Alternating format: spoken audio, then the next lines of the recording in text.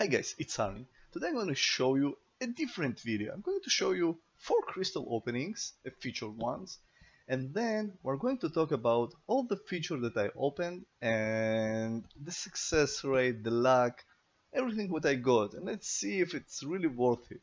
So have fun, see the video, and let's talk in a minute.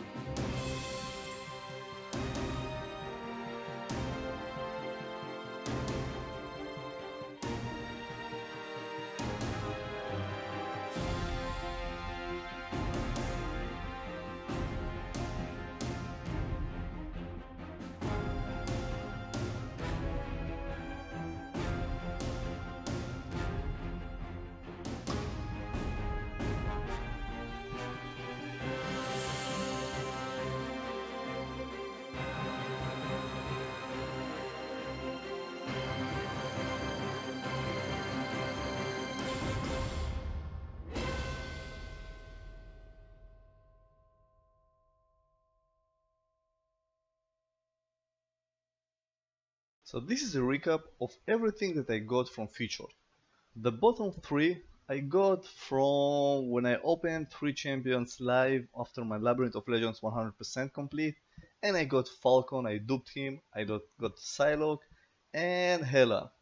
Not the god tier champions but not so bad. Then I opened another one and got the Bearded Cap which I was very very happy to get uh, and but I still hadn't decided what to do with him. I wasn't sure about him. I never played with him. So I decided to open another one, and I got Massacre. I also think he's a nice champion, but not a game changer.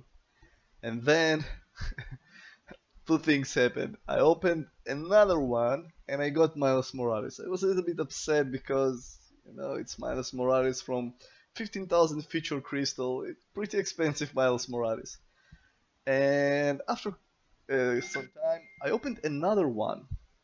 Another one. And I got another Miles Morales. I'll dupe this guy.